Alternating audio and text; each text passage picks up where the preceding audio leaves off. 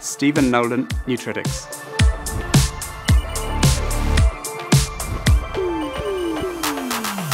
So Nutritics is a food technology software that's designed to help food service businesses be safer, more sustainable and, uh, and ultimately more profitable.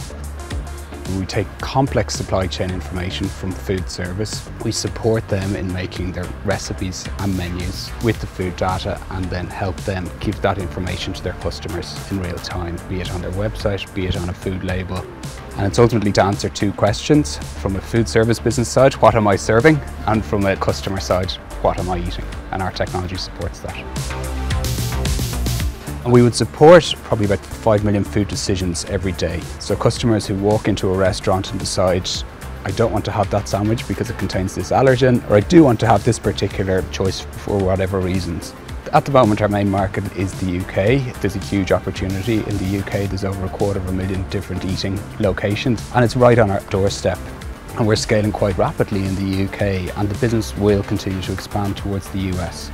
There's close to 1.8 million restaurants over there in various different guises. So between the UK and the US, we've about 2 million potential customers just sitting there and waiting for us, and we're only really scratching the surface of that.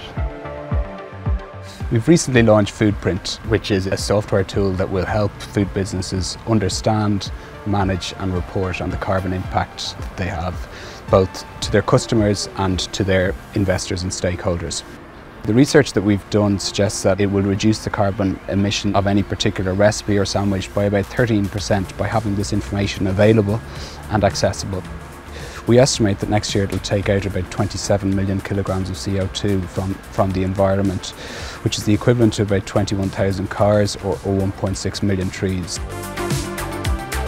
It's important to us that we have to leave this place in a better place than we found it and we need to be doing what we can do internally as well within making the right choices around how we travel or how we source suppliers and so on alongside supporting our customers to do that.